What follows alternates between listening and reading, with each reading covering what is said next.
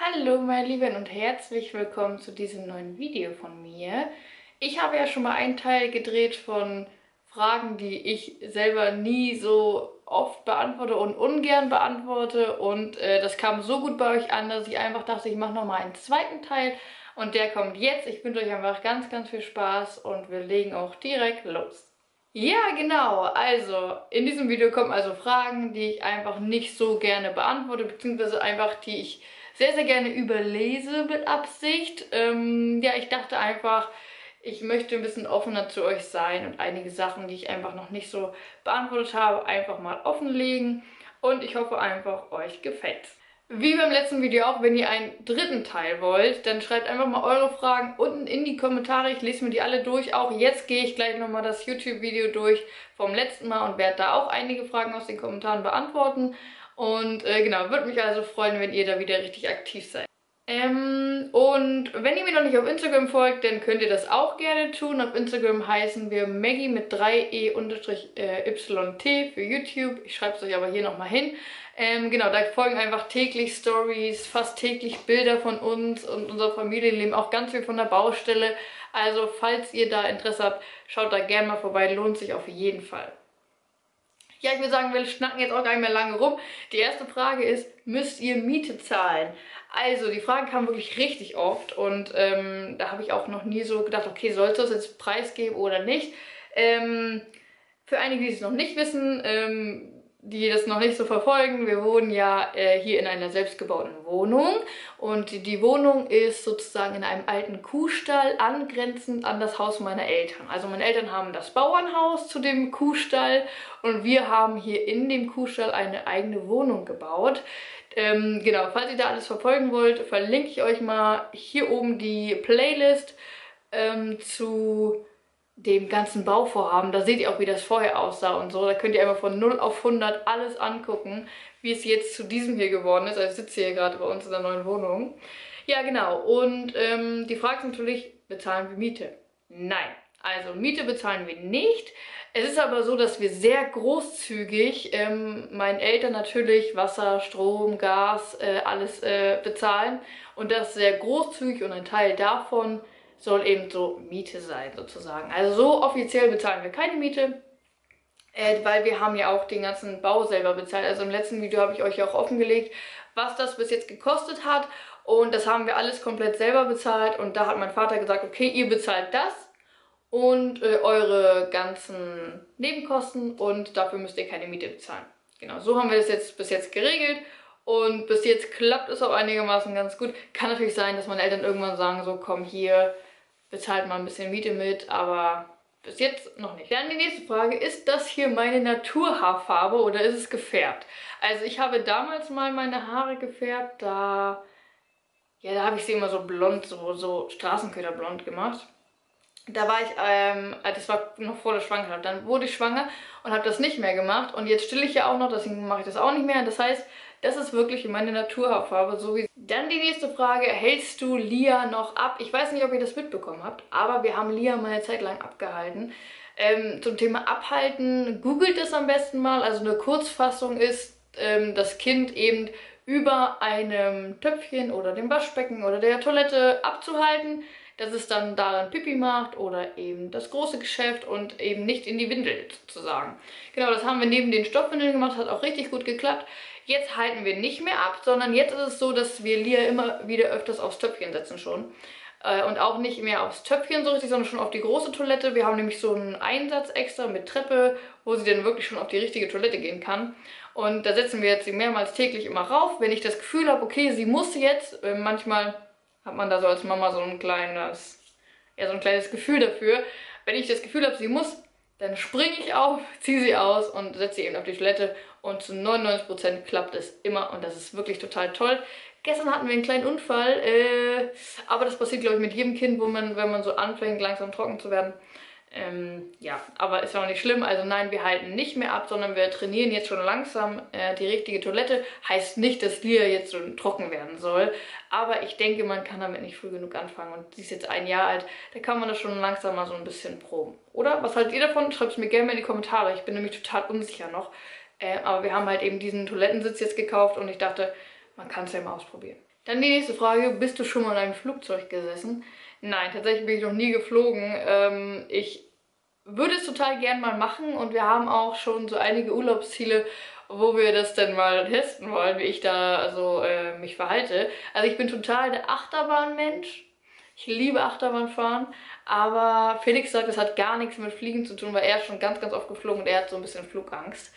Ähm, deswegen bin ich sehr gespannt, wie ich da bin. Also vielleicht habe ich auch total die Angst, ich weiß es nicht. Auf jeden Fall bin ich noch nie geflogen, aber wir haben es auf jeden Fall die nächste Zeit mal vor, wenn das Ganze mit Corona mal endlich vorbei ist. Dann die nächste Frage, stillst du noch? Und diese Frage beantworte ich super liebend gern mit einem Ja. Wir stillen tatsächlich noch. Die Kleine ist jetzt 13 Monate alt und äh, wir stillen noch. Also es ist schon richtig wenig geworden. Also ich schätze mal so drei, vier Mal am Tag. Eigentlich immer nur zum Einschlafen tatsächlich. Weil sonst isst sie immer das, was wir auch essen. Aber so zum Einschlafen braucht sie das noch total doll. Und ich weiß nicht, also Viele geben ja die Flasche, ne? so nach dem sechsten Monat füttern sie halt mit der Flasche. Aber ich denke mir immer, warum soll ich jetzt meinem Kind künstliche Milch geben, wenn ich doch selber noch Milch habe? Wisst ihr, was ich meine? Und außerdem ist das Gefühl auch total schön so. Ich weiß nicht, also ich glaube, stillende Mamas, die in dem gleichen Alter noch stillen, verstehen mich total. Andere verstehen mich vielleicht nicht, aber ist auch nicht so schlimm, ist ja meine Entscheidung und äh, ja, wir stillen noch, es tut uns beiden total gut. Lia hat dadurch keine Nachteile, ich habe dadurch keine Nachteile, wir haben eigentlich nur Vorteile davon. Dann nächste Frage, Thema Zähne bei mir. Ihr wisst ja, oder einige wissen, ich habe vier Jahre lang eine feste Zahnspange getragen und davor zwei Jahre eine lose Zahnspange. Und ich hatte total Probleme mit meinen Zähnen. Also meine Schneidezähne, die hingen irgendwo hier oben. Äh, das war wirklich katastrophal. Also alle, die meine ganz, ganz alten Videos kennen, die äh, wissen das wahrscheinlich auch noch. Ähm, genau, also das war wirklich ganz katastrophal. Deswegen habe ich mich dann für eine feste Zahnspange entschieden. Das hat auch alles super geklappt. Ich habe Schmerz und Leid ertragen. Mir wurden vier Zähne gezogen und all so ein Blödsinn. Also ich bin froh, dass die jetzt Ende äh, letztes Jahr rauskam. Im Mai letztes Jahr kam sie raus endlich. Und der Zahn, oder mein Kieferorthopäde hat leider den Retainer, glaube ich, heißt das, vergessen. Ja, dadurch sind meine Zähne jetzt wieder ein bisschen schief geworden. Aber ganz ehrlich muss ich sagen, ich bin einfach von dem Ergebnis trotzdem noch viel zufriedener als vorher, also als es vorher war. Wir kümmern uns jetzt auf jeden Fall darum. Mein Zahnarzt hat mir einfach empfohlen, ich soll nochmal zum Kieferorthopäden gehen und dann ja mit einer losen Spange das nochmal versuchen. Äh, oder eben so ein Draht mir einsetzen lassen, damit die Zähne sich nicht weiter verschieben, weil ich merke einfach, dass sie sich von Tag zu Tag einfach immer weiter verschieben, obwohl es jetzt schon ein Jahr her ist, aber sie verschieben sich immer noch. Und ich finde es einfach total schade, weil ich habe halt wirklich viel Energie da wirklich reingesteckt und auch Zeit, ich meine vier Jahre ist eine wirklich starke Zeit und ähm, ja, wir schauen einfach mal. Es ist halt scheiße, dass sie sich wieder verschoben haben, aber ich wusste halt auch nicht, äh, ja, was danach halt so kommt. Ne? Also ich, die haben halt einfach gesagt, ja, Zahnspange raus und dann ist gut. Und ich dachte, ja gut, perfekt, dann äh, habe ich jetzt wieder gerade Zähne und dann nach ein paar Wochen fing es dann auch schon an, dass sie sich wieder verschoben haben. Aber wie gesagt, wir kümmern uns jetzt äh, um den Kieferorthopäden. Das möchte ich aber gerne nach der Corona-Zeit machen, weil ich finde jetzt, weiß nicht, ich fühle mich irgendwie nicht gut, wenn ich dann beim, beim Zahnarzt sitze und ähm, Deswegen würde ich das gerne nach der Corona-Zeit in Angriff nehmen. Ihr könnt mal gerne in die Kommentare schreiben, ob jemand äh, da auch so Erfahrung hat, ähm, ob der Kieferorthopäde das eventuell auch vergessen hat einfach. Ja, also schreibt mir gerne mal in die Kommentare. Ich bin da super neugierig, weil ich da echt äh, hoffe, dass ich nicht die Einzige bin. Dann die nächste Frage, finde ich eine komische Frage, aber ich dachte, ich nehme sie jetzt einfach mal rein. Und zwar, warum wolltest du so früh Mama werden? Also, Einige wissen es ja, ich hatte schon sehr, sehr früh einen Kinderwunsch und ich verlinke euch jetzt einfach mal mein Video dazu. Ich habe nämlich ein Video über meine Vergangenheit gemacht, das verlinke ich euch mal hier oben. Da könnt ihr da einfach mal vorbeischauen, ähm, warum das Ganze so war, wie meine Vergangenheit war. Ich habe richtig, richtig viel Scheiße erlebt, Leute. Schaut euch auf jeden Fall an, wenn euch das interessiert. Ähm, ja, aber da erzähle ich wirklich alles komplett sehr emotional und wünsche euch da ganz, ganz viel Spaß bei dem. Dann die nächste Frage, ähm, beziehungsweise eher so ja, eine kleine Anmerkung.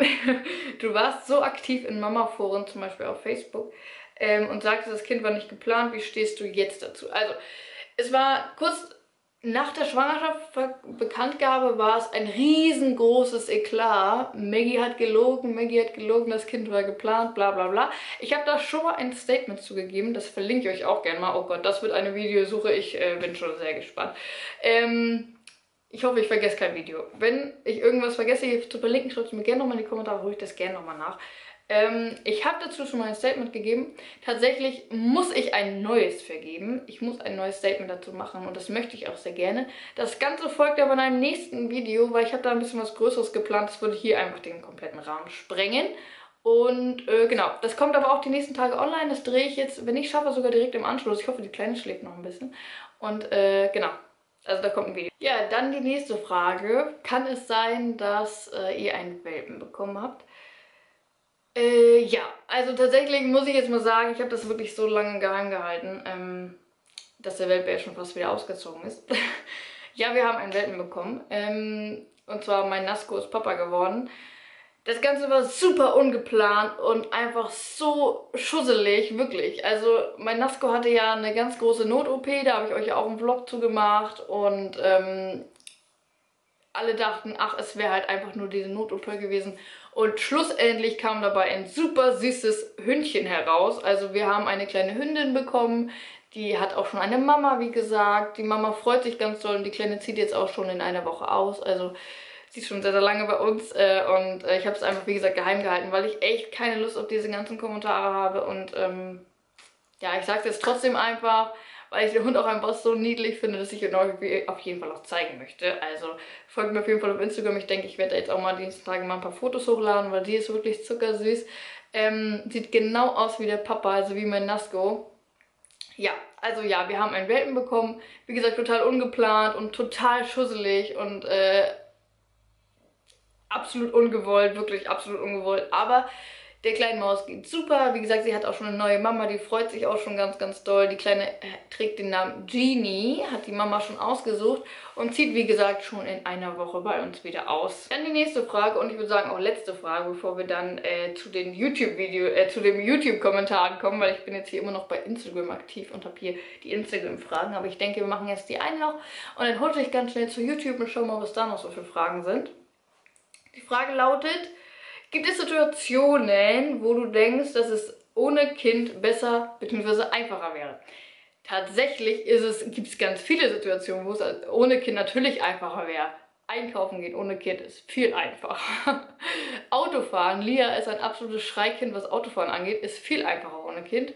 Ähm, Haushalt machen, es ist so viel einfacher als mit äh, ohne Kind, natürlich, weil man einfach nicht die ganze Zeit ein Baby am Bein hat, was die ganze Zeit äh, hoch will und dir eventuell manchmal sogar ins Bein beißt, wenn du sie nicht rechtzeitig hochnimmst.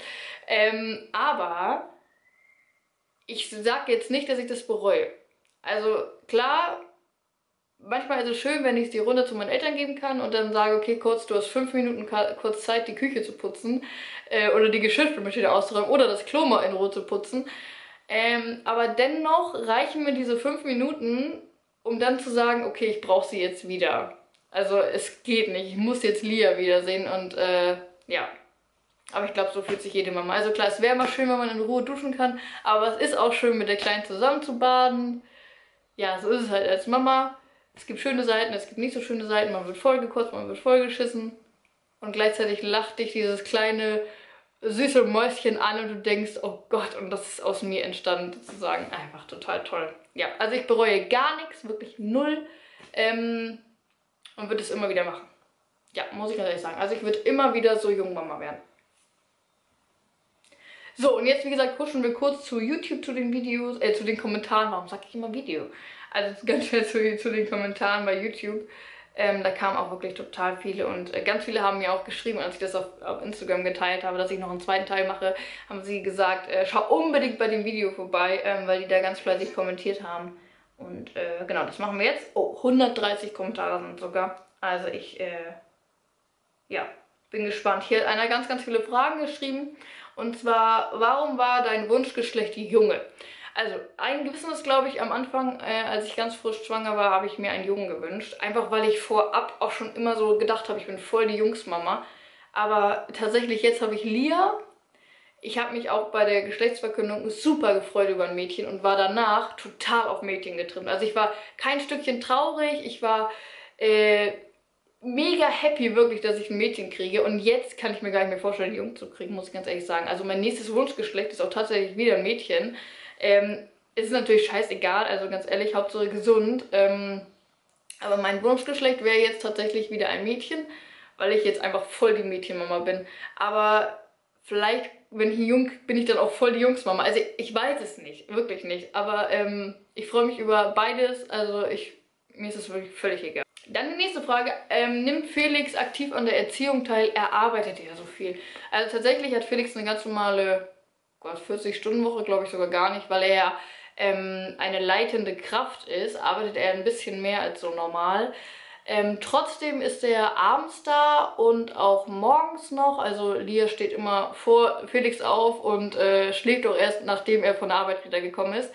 Ähm, und am Wochenende, am Samstag hat er den halben Tag frei, da ist er da. Am Mittwoch hat er immer frei, da ist er auch den ganzen Tag da. Und am Sonntag ist er, wie gesagt, da. Ähm, also ja, es ist, äh, er nimmt relativ viel an der Erziehung teil. Also wenn es wirklich so um Erziehung geht, dann äh, hat er auch ein Wörtchen mitzureden. Also er besteht dann auch sozusagen so auf sein Recht oder beziehungsweise sprechen wir dann immer drüber, wie wollen wir das jetzt regeln, wenn Lia zum Beispiel irgendwas macht, wo wir sagen, okay, das geht nicht oder sie soll das lieber so und so lernen, dann sprechen wir darüber und er, er nimmt schon wirklich aktiv an der Erziehung teil. Wir teilen uns das sozusagen. Tatsächlich muss ich jetzt sagen, dass die Fragen eigentlich äh, fast dieselben sind, die ich gerade beantwortet habe. Ähm, ja. Ich äh, habe eigentlich keine Fragen mehr hier, die ich nicht beantwortet habe schon. Ähm, ja, also, ich hoffe, euch hat das Video gefallen in dem Sinne. Ne? Also, wir haben keine Fragen mehr. Ich äh, würde super gerne noch einen dritten Teil machen, weil ich das einfach total toll finde, euch so Fragen zu beantworten, die halt einfach auch so ein bisschen unangenehm sind. Ähm, weil ich habe einfach auch nichts davon, wenn ich irgendwas verheimliche. Ich beantworte euch solche Fragen super gerne und hoffe, euch hat das äh, Video gefallen. Ich wünsche euch einen ganz, ganz tollen Tag und dann bis zum nächsten Mal. Tschüssi!